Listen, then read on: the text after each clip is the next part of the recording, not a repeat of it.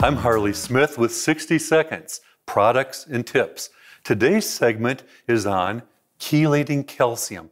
Calcium gets locked up with other minerals very easily and it becomes unavailable to the plant. But if you add a chelating agent, it'll stay soluble. Chela means claw. It attaches to a mineral like a claw.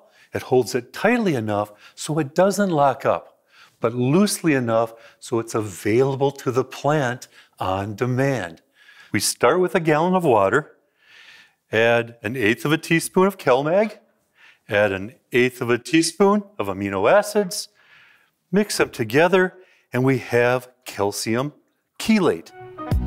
That's all the time we have for today. I'm Harley Smith. Thanks for the minute.